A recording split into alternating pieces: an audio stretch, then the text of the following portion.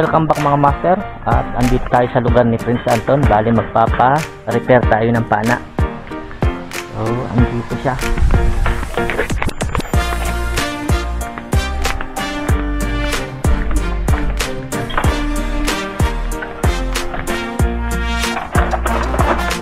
So bali yung pana natin ay papalagyan natin ng concrete nail sa dulo. Ayan. Para mas lalong tumibay kahit na tumama sa bato hindi siya masyadong mapupunggal.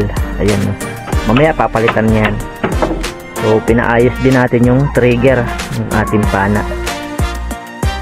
So ayan naman mga master sa Facebook page ni ah, sa Facebook ni Prince Anton uh, PM kayo pag gusto niyo mag-order ng pana. Uh, so ayan legit yan. So, marindukin nyo yung Oo. page ko mga idol. madiskarting marindukin nyo so marami na rin nag-order sa kanya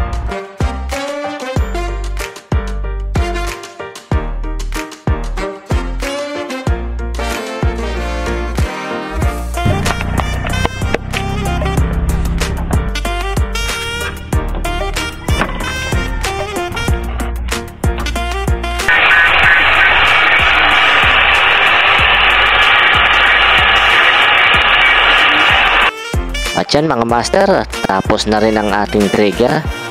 So pinalitan lang yan ng spring. At ito yung pinakahihintay ko dito. So, ayan.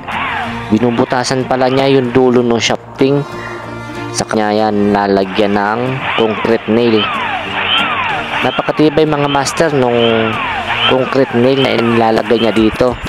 Kasi kapag tumama nga naman sa bato, hindi masyadong matutupi yung dulo ng shafting natin.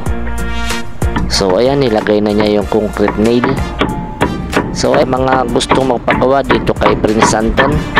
So ayan, ah, mag-message lang po kayo sa kanyang Facebook page na madiscarding marindukin nyo o kaya ay sa kanyang FB account na Prince Anton.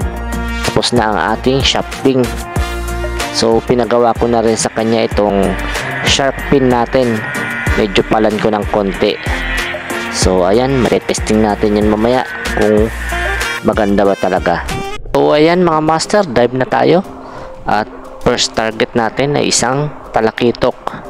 So may nagpahabol pa yan pero inabutan naman natin. Ayan, nahuli ko naman mga master. May kasama nga pala ako mga master, si Master Amado. At nauna na siyang nag-dive sa akin. So ngayon ay 2.30 am na. Kaya maya maya ay mag-uumaga na rin. So dive safe pa lang mga master sa mga kapwa natin Spiro. At ito may nakita ako isang box jellyfish. Ayan ingat po tayo mga master. Lalo na sa mga bagong Spiro dyan. Kasi ang kanyang mga galamay ay may venom na maari makapinsala sa ating katawan. So ingat tayo mga master. At next target natin mga master ay isang manabon. So ayan, nakita ko siyang nakasandal doon sa bato kaya binanatan ko na. Medyo malapad-lapad naman na yan. Kaya goods na yan na pang ulam.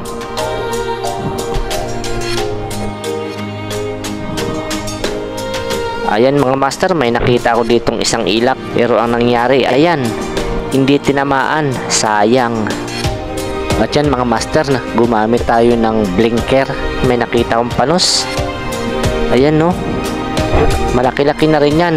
Kaya lang, talaga di siya inabot nung shafting natin. Nakatakas tuloy. At ito ang inabot. Ayan, malaki-laki yan. Pinana ko na muna kagad bago ko binidyohan. Kasi baka katulad nung una natin pinana, nakatakas pa. Ay sayang naman.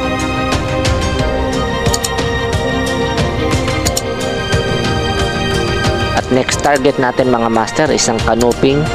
Ayan no. Parang ayaw pa magpahuli. Nako. Parang nagpapakipot pa. Pero hindi natin yan tinigilan. Kasi nakita natin sumandal sa bato. Ayan, binanatan ko na. So ayan, nahuli ko naman.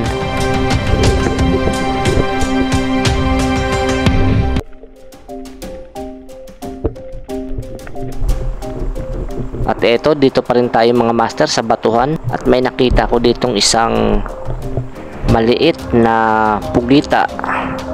Pero hindi pa natin uhulihin yan kasi maliit pa yan. Papalakihin muna natin. So, pinakawalan ko na ito.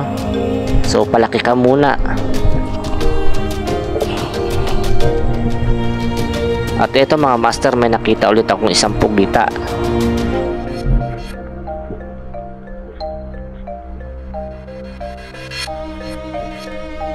Ito ang huhulihin natin kasi good size na yan.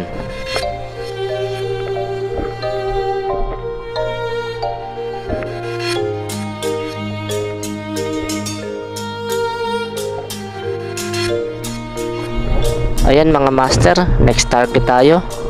May nakita ulit ako ditong isang pugita. Ayan o, nasa labas talaga sila. Hindi na tayo mahihirapan na magsilip-silip sa butas.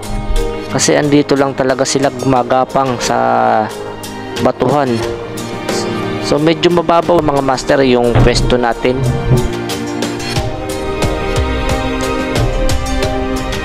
So natanawan ko na dito yung kabady natin. Ayan o, ang dami niyang huli mga master. Parang siya ang nakahuli ng mga malalaki pugita ah. Tapos may huli pa siyang bagul, dalawa. Swerte yung kasamahan natin. Si Master Amado. Ayan. So next target tayo mga master. Ayan, may nakita ulit ako ditong pugita. Ayan, dinampot ko na. So magkakasing laki lang yung nahuhuli kong pugita dito. Hindi katulad nung mga nahuli ni Master Amado. Talagang malalaki. Pero ayos na rin yan na pang ulam. Ayan, may nakita ulit ako dito mga master. Ayan o, pugita ulit. Talagang nandito lang sila sa labas. Ayan no, nagpahabol pa. Ayan, pinana ko na at baka makakita pa ng butas.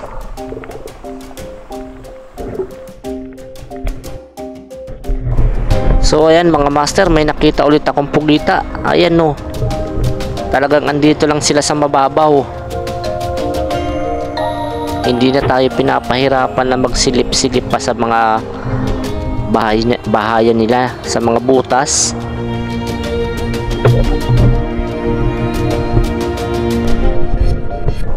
At ito mga master may nakita ko dito sa butas. Ayan no? Kala niya hindi ko siya makikita. So ayan pinana ko na yan. Baka kasi kung saan pa yan makapunta. Ka makatakas pa. So ayan mga master ito na yung last target ko. Kasi dito ay nalobat na yung camera natin.